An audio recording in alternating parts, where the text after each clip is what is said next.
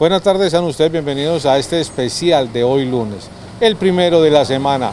Hoy tendremos algo muy especial. Hoy precisamente vamos, como se dice, a salirnos del país, a internacionalizarnos un poco, contando historias, contando la vivencia de personas que viven en diferentes partes del mundo. Así que los invito para que se queden en este especial de hoy lunes en nuestro programa La Terraza.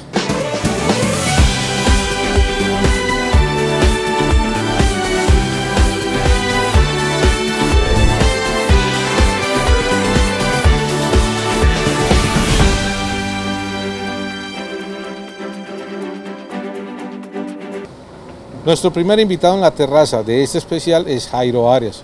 Como ustedes saben, él está viviendo en Freehold University. A él le solicitamos que por qué no nos contaba precisamente un poco sobre la vivencia, cómo, se está, cómo es el hábitat en este momento en la ciudad donde él reside.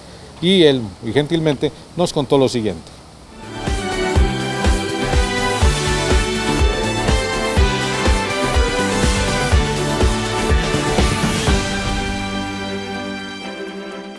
Les quiero contar que cuando salimos acá en, en Frijol, en New Jersey, a una hora de la ciudad de Nueva York, el centro mundial de, este problema, de esta pandemia COVID-19, eh, siempre salimos con tapabocas y, protegidos para que así prevenir algún contagio. Eh, caminar por las calles del pueblo eh, no hay ningún problema, no hay restricciones no, no nos aborda la policía ni ningún ente gubernamental, simplemente tratar de salir con cuidado. Salimos protegidos en lo posible y podemos transitar libremente desde la mañana hasta la tipo 5 de la mañana hasta las 8 de la noche. Ya después de las 8 de la noche ya eh, hay que estar ya en la casa. Nosotros en la cadena de supermercados donde yo trabajo tenemos un permiso especial, entonces por si nos aborda alguna autoridad competente, ya nosotros le mostramos un documento de, de la empresa, un carnet y que podemos transitar libremente hacia la casa porque yo siempre llego tipo 9, 9 y 45. Entonces, entonces esa es la idea, la idea es estar muy, muy preparados, muy protegidos y estar con toda seguridad y con todo lo, lo pertinente del caso.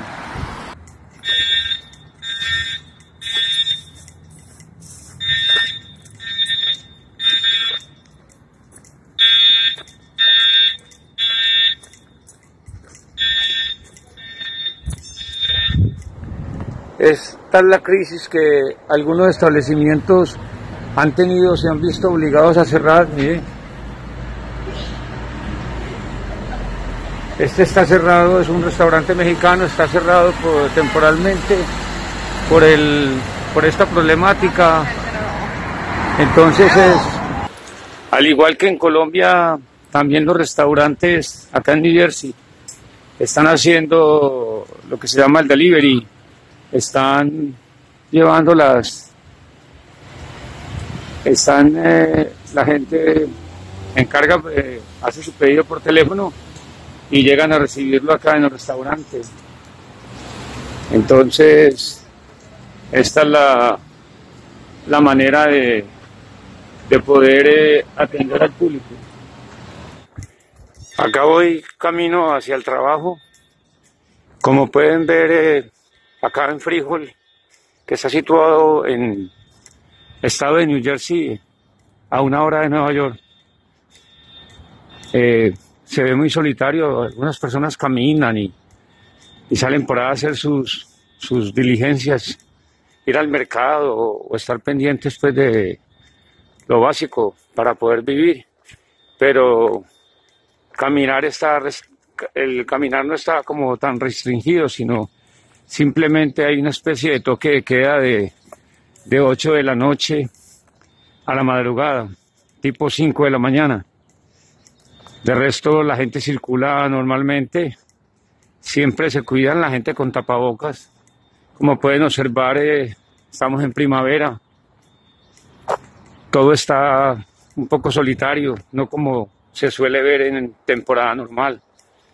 Ahí ven los árboles ya con sus bonitas hojas, sus vestidos nuevos.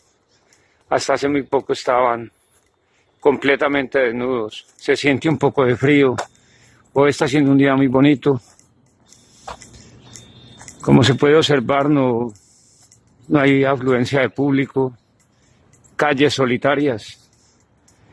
Nosotros estamos yendo al trabajo de tapabocas. A mí me tocó una jornada normal de una de la tarde a nueve y media de la noche.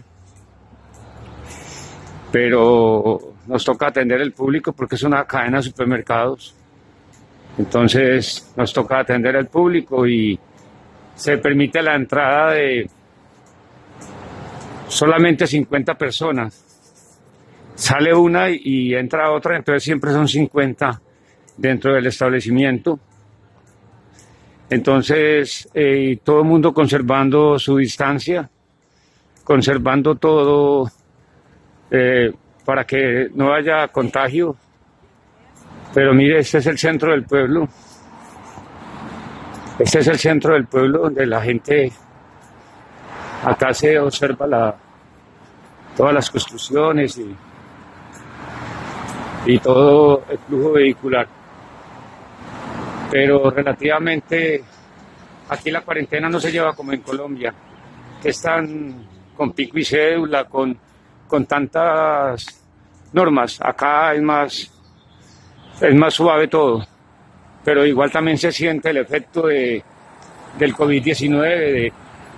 estamos viviendo prácticamente a una hora de, del Centro Mundial de la Pandemia y, de los pueblos vecinos, hay unos muy contaminados como en el caso de Lakewood. Pero nosotros en el trabajo estamos siempre guantes, eh, con los tapabocas, guardando cierta distancia con los clientes y también el lavado constante de mano. Entonces, se está llevando todo el cuidado que, que debemos tener todos para no salir afectados. Hasta ahora todo muy bien. Este es como un pequeño informe para que se den cuenta en Ciudad Bolívar cómo es o cómo está la vida acá en, en Freehold, New Jersey. Eh, un saludo muy especial y, y siempre lo llevo en mi corazón.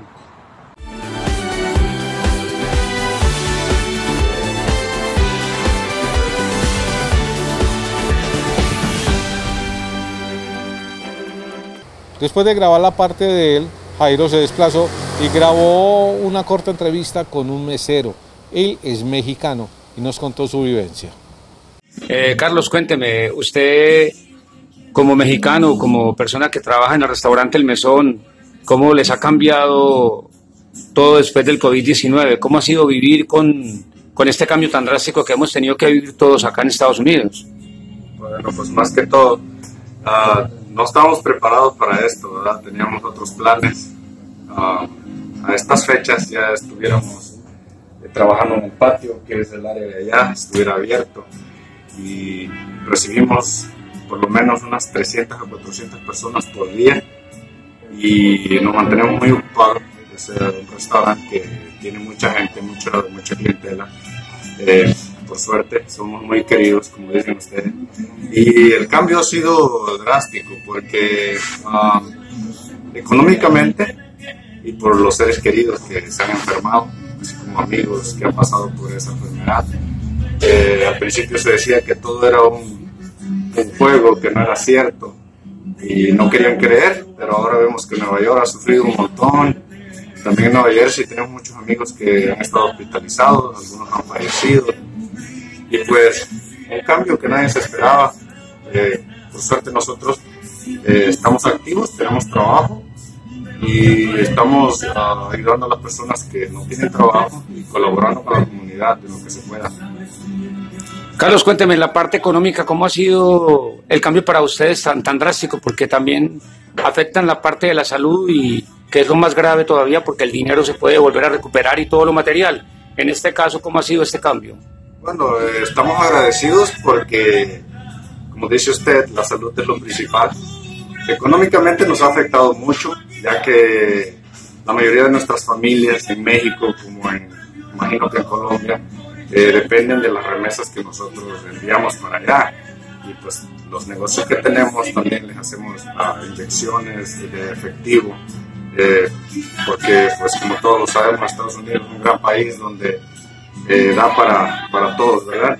Y económicamente nos, nos, ha afectado muchísimo. Hay personas que están peor, nosotros por lo menos estamos trabajando, eh, estamos produciendo, estamos haciendo órdenes para llevar.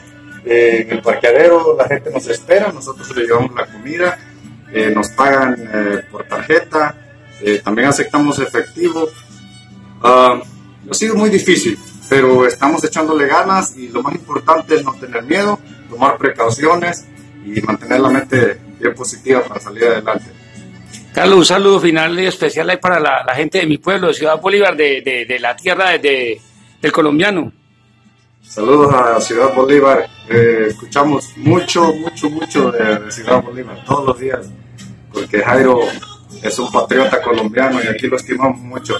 Saludos a todos.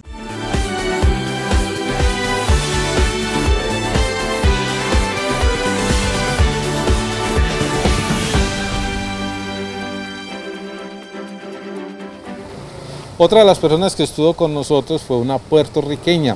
Esta persona, como se dice en, en, nuestro país, es habitante de calle. Ella también reside en Freehold, New Jersey, y nos cuenta en un corto, en un cortico, su historia de vida en esta ciudad. ¿Usted cómo se llama? María Dolores Ruiz. Usted es de, de, de Puerto Rico, ¿cierto? Sí, señor. Eh, siempre la veo en, en, en la calle, como llamamos nosotros en Colombia un habitante de calle, a ustedes les toca una situación muy dura. Ustedes como habitantes de calle, ¿cómo ha sido esta situación del COVID-19? ¿Cómo han vivido ustedes esta problemática? Mi hermano, sabe que nos están aceptando gente a, a los shelters este, de, este, de ambulantes, pero se hace lo que se puede. Pero dentro de el latino siempre tiene un buen corazón. Y resaltamos. Cuénteme, eh, ustedes eh, les, me cuentan que les están dando comida acá en restaurantes, que les están colaborando en las iglesias, cuénteme. Mi hermano, este, hay, hay varias iglesias que están colaborando este, los lunes, los martes, los miércoles, los jueves, viernes. El fin de semana, pues, ni modo que hacer. Pero sabe que dentro de sigo buscando al Señor, el Señor llega. Le agradezco, muy querida. Esto es para un canal en mi pueblo, en mi pueblo en Colombia, para un canal local. Ok, pues ¿sabe qué? Shakira, Shakira.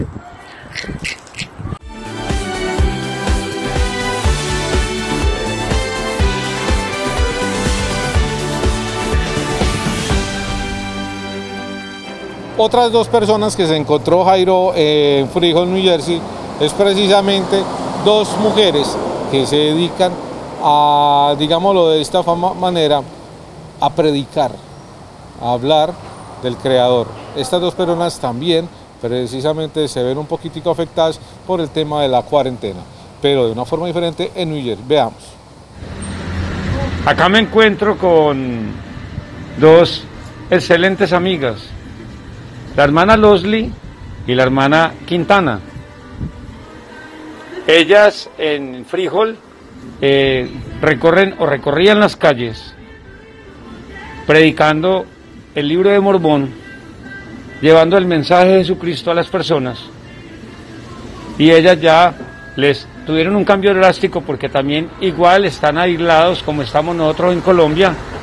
Entonces ellas nos van a contar cómo ha sido este cambio, cómo es el cómo es la manera ya de proceder frente a esta situación y frente a las personas que ellas abordan en la calle para predicarles la palabra de Jesucristo.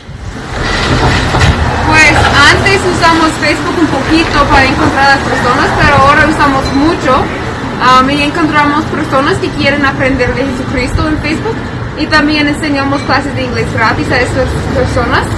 Y muchas personas um, no están trabajando ahora, entonces tienen más um, tiempo para aprender un idioma o aprender un poco más de Jesucristo. Cuéntenme cómo ha sido el cambio para ustedes, cómo han enfrentado esta cuarentena, cómo ha sido para ustedes vivir este fenómeno que es a nivel global. Pues todavía estamos trabajando y estamos intentando sí, sí es diferente, pero uh, todavía estamos aquí y estamos sirviendo dos, dos personas.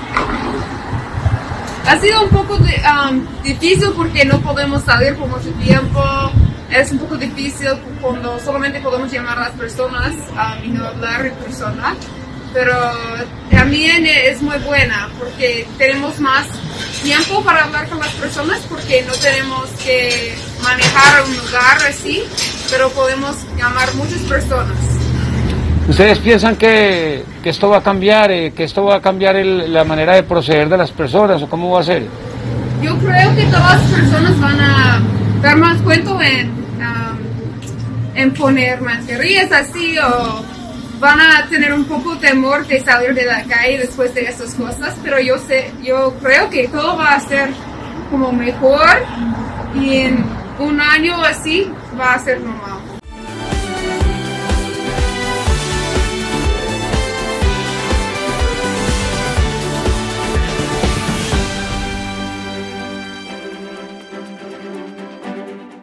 Ya para terminar este recorrido, nuestro amigo Jairo estuvo conversando con un mexicano que en este momento está ejerciendo o realizando actividades de jardinería.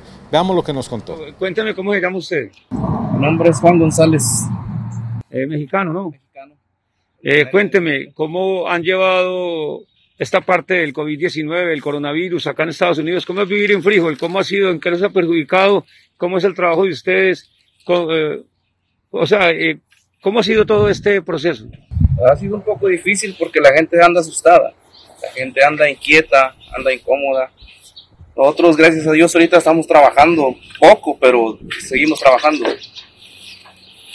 Cuénteme que alguna parte de su familia, algún conocido, alguna persona está sufriendo esta enfermedad o Sí, cómo ha claro. sido. Sí, claro, muchos conocidos que ya, ya nosotros tenemos a nuestros alrededores han, han, este, ya han sido infectados y pues nosotros segui- que- seguimos así tratando de, de mantenernos a salvo y de que pues no nos, no nos contagiemos. Por eso usamos el cubrebocas, guantes y tratamos de, de no tener mucha, mucha, ¿cómo se dice? Mucho contacto con, con la demás gente.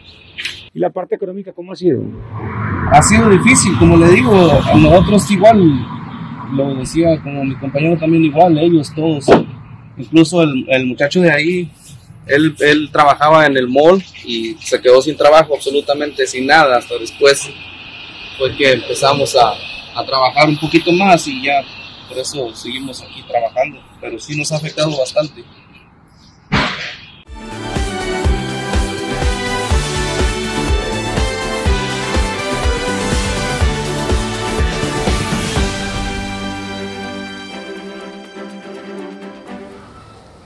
A continuación viene Laura Quiseno. Ella es hija de Ciudad Bolívar. Durante mucho tiempo estuvo en la escuela de música de nuestro municipio. Cambiaron de residencia, ella y la familia se fueron a habitar la ciudad de Medellín. Y allí se formó, ya es una profesional hoy día, y precisamente este tema del coronavirus la cogió en España. Ella, en donde se encuentra en el momento, nos contó la siguiente historia de cómo viven y qué es lo que hacen normalmente en esta ciudad por el tema del coronavirus. Bueno, mi nombre es Laura Quiseno. En estos momentos me encuentro en Murcia, España. Eh, la situación con el coronavirus acá en España y en la región ha sido de constante aislamiento. Menores de edad llevan alrededor de cinco semanas sin ir a la escuela, están con estudio en casa. No se puede salir al, al mercado eh, o a hacer diligencias, solamente puede ir una persona por familia y el ingreso a estos sitios de mercado es eh, gradual.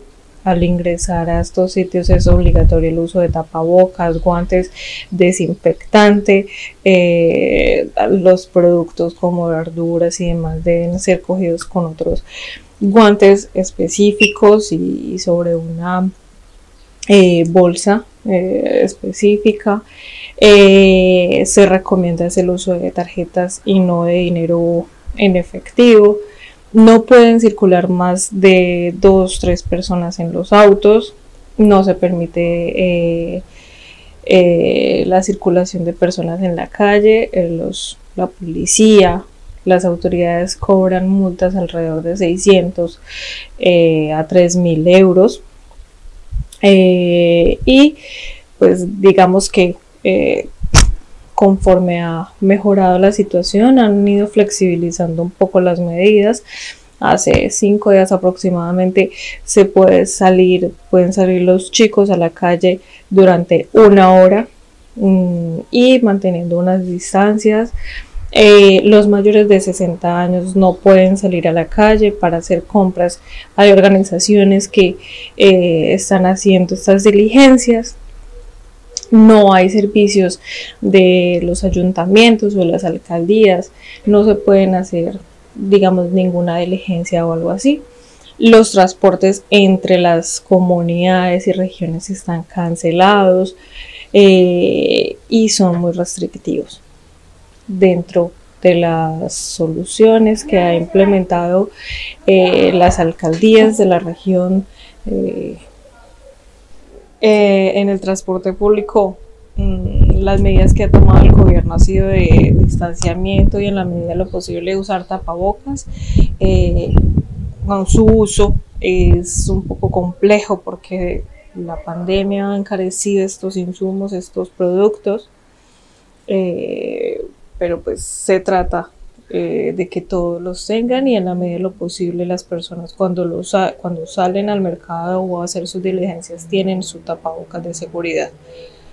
Las medidas que han tomado los municipios del suroeste han sido adecuadas, pero más que adecuadas lo que debe prevalecer para nosotros debe ser el juicio y el cuidado que nosotros tengamos para eh, que no se produzca un contagio que no se produzca un descuido en la salud de toda la comunidad.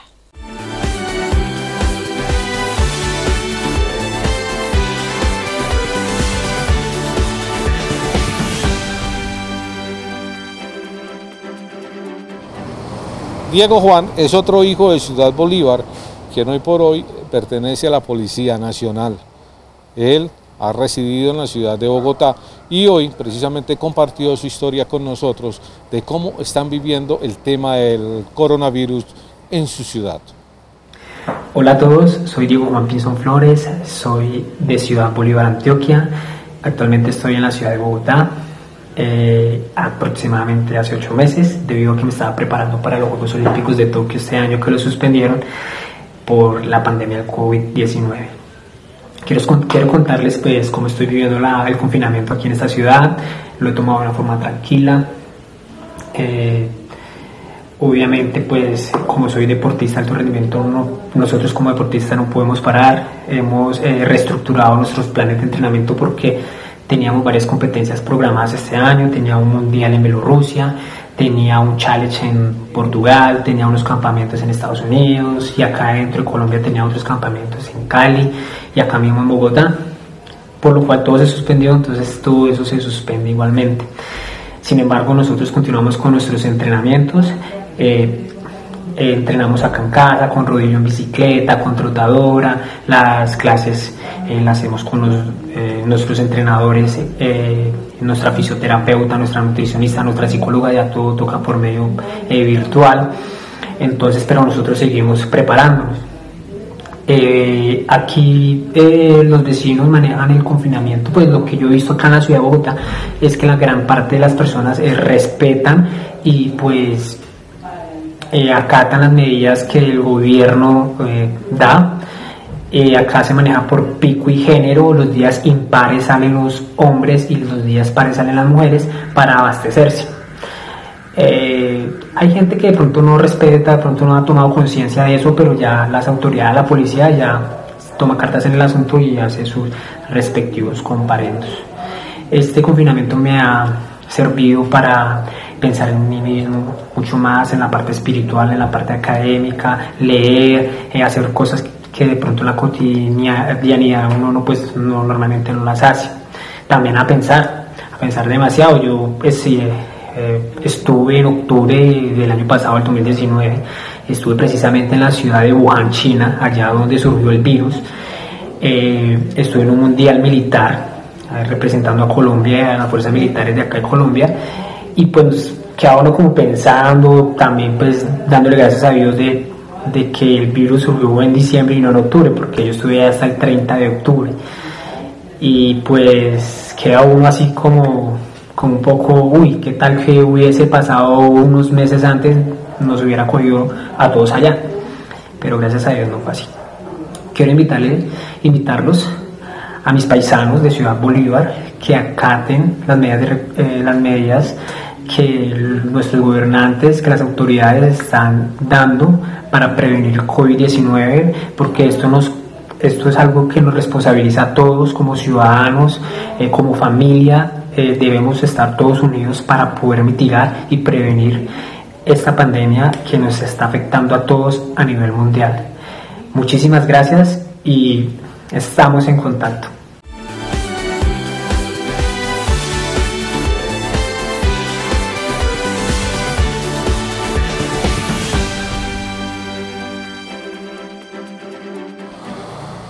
Didier Acevedo, ex rector del Colegio Cooperativo, muchos de ustedes lo recordarán, una persona que aportó mucho a esta institución, a Pasivol Televisión y continúa haciéndolo de una forma muy sencilla, contándonos la historia, contándonos lo que piensa sobre el tema del coronavirus. escuchamos su pensamiento sobre este tema y lo compartimos con cada uno de ustedes. Hola amigos de Ciudad Bolívar, soy Didier Herrera Acevedo, Laboré por muchos años en Ciudad Bolívar, específicamente en el Colegio Cooperativo Alejandrino Restrepo. Hoy desde la ciudad de Medellín, eh, con un poco de angustia, mm, les mando una voz de esperanza, les mando una voz de mucha fe. Muchas veces me levanto pensando, Dios mío, esto es verdad. Parecemos de película. Uno sale, las calles vacías, Muchas personas eh, no son conscientes de lo que estamos viviendo. Muchas personas no somos conscientes o no son conscientes de lo que les puede pasar a nuestros familiares, a nuestros vecinos, incluso a uno mismo. Por eso, aunque eh, a Ciudad Bolívar, y hoy gracias a Dios por ello, que no ha llegado el virus, les pido y les digo de corazón que se cuiden, que así nuestras autoridades nacionales, departamentales o municipales autoricen salir de casa. Por favor, cuidémonos, pensemos en nuestros hijos, pensemos en nuestras familias, pensemos en nosotros mismos. Esto va para muy largo. Esto eh, hace que el mundo que traíamos termine y quede atrás. Inicia una nueva etapa de nuestras vidas. Por eso para que podamos iniciar esa etapa, cuidémonos bastante. Yo vivo con mi familia, con mi esposa y con mi hijo en el municipio de Itagüí. Y aunque a veces eh, no nos haga falta salir a la calle porque estamos los tres, sí a veces nos llenamos de angustia de todo lo que está pasando. De todas formas, Dios los bendiga, cuídense bastante. Y desde la distancia les enviamos, les envío un fuerte abrazo.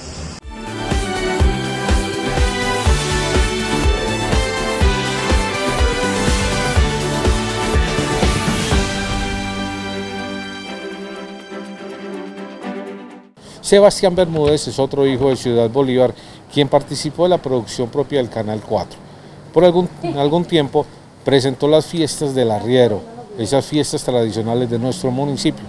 Él también nos hizo un comentario, él también nos dio su opinión y la compartimos con cada uno de ustedes sobre lo que está viviendo el país, sobre lo que está viviendo el mundo.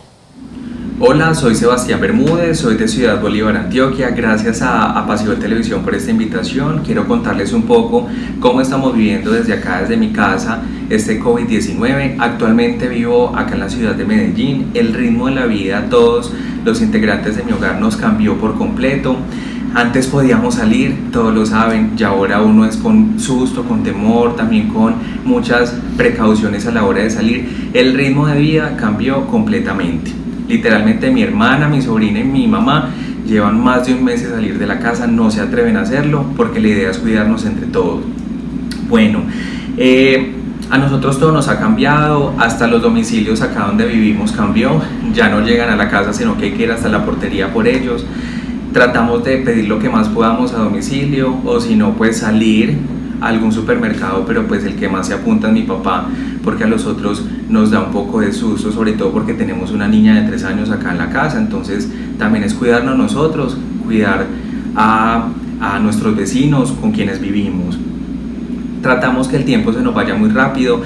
Todos estamos como en un rol, mi hermana está estudiando, mi sobrina todo el día juega, entonces nos turnamos para jugar con ella. Mi mamá dijo, no, yo quiero como estar también distraída, entonces quiero estar haciendo las cosas de la casa. Yo estoy dedicándome a lo que más me gusta, que es leer, escribir. Estoy meditando mucho con mis ángeles y algo muy importante es que todos estamos sacando un lugar y un espacio del día para orar en familia y entregarle a Dios esta situación tan difícil. Uno de los cambios más complicados para los que me conocen es que es la Semana Santa, que la tuvimos que vivir desde la casa a través de los televisores, que gracias a los medios de comunicación como Apasional Televisión que lo transmitieron, pudimos acercarnos a la oración, vivir la Semana Santa de una manera típica, pero bueno, pudimos hacerlo, esto queda como para la historia, uno nunca se imaginó contar que vivió una pandemia, eso solamente uno lo leía como el libro, ¿cierto?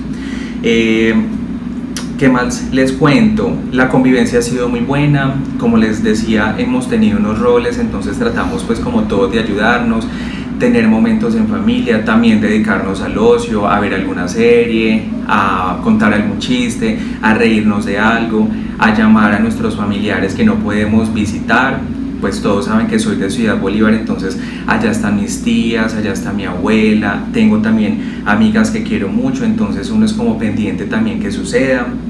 Nosotros tenemos familiares que pertenecen a, al sector de la salud. Hay una que es enfermera y su esposo es médico, vive en la ciudad de Bogotá, el foco del coronavirus, entonces uno es también deseando que no tengan ningún riesgo, que tengan todas las precauciones. Y esto se trata de trabajar en conjunto. Yo puedo cuidarme mucho, mi mamá puede cuidarse mucho, pero no sabemos el vecino, no sabemos la persona de la calle cómo lo esté haciendo. Entonces la idea es que sea entre todos.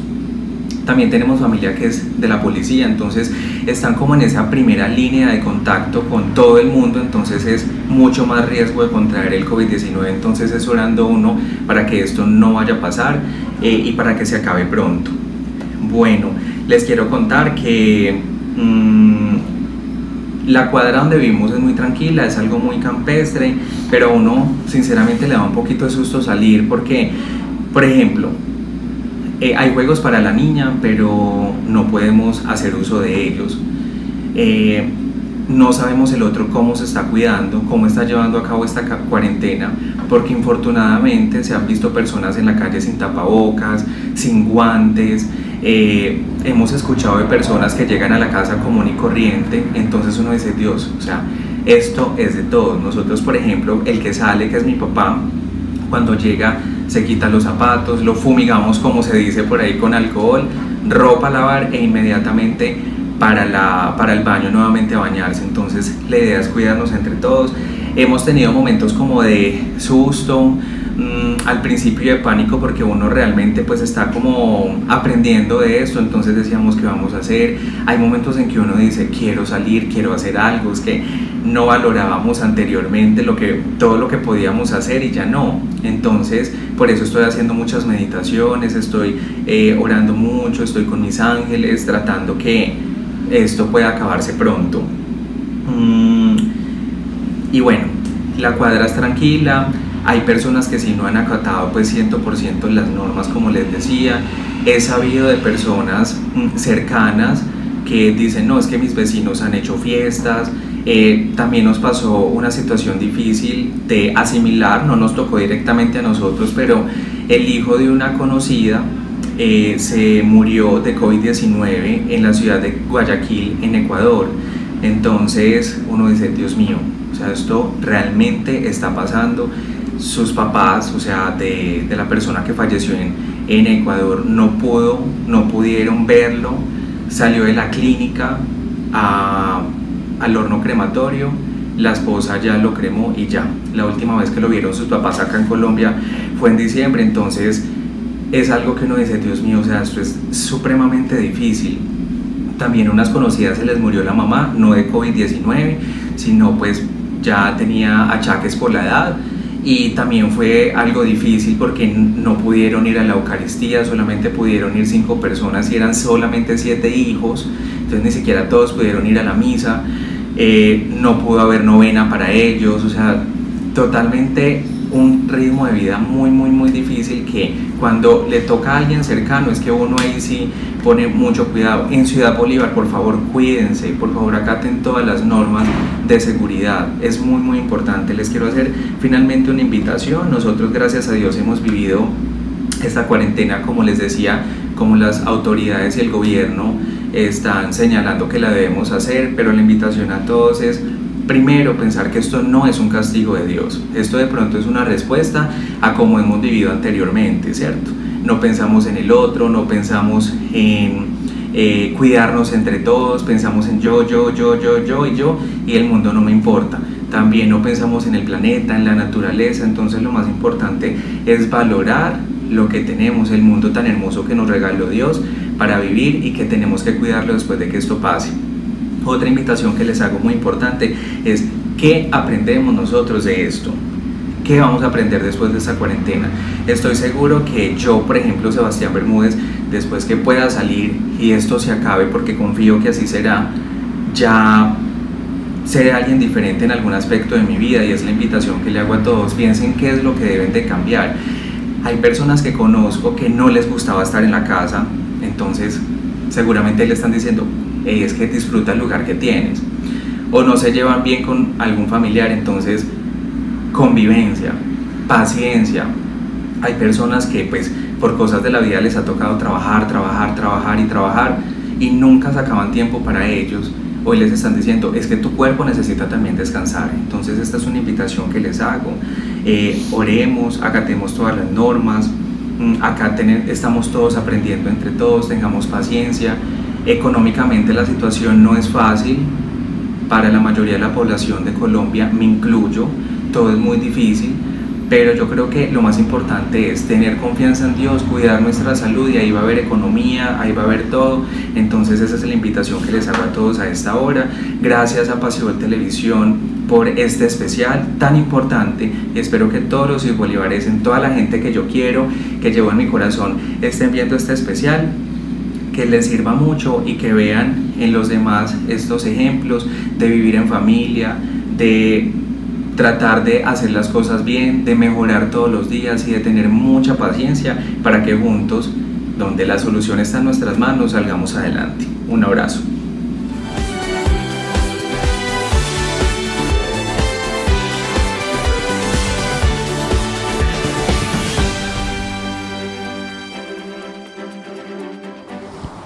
Así hemos llegado al final de nuestro especial por el día de hoy. Los invitamos para que mañana a las 5 y 30 nos acompañen con un especial más que va dirigido a cada uno de ustedes con información de mucho interés. Recuerde que a partir de las 5 y 30 la terraza está presentando estos especiales precisamente contándoles del tema principal, el coronavirus, con información de primera mano, con la información local, con la información de nuestro municipio. Esto con el fin de que no crean en diferentes comentarios o cosas que se publican a través de redes sociales donde dan información inoficiosa. Así que los invito para que mañana nos acompañen a las 5 y 30 en otro especial.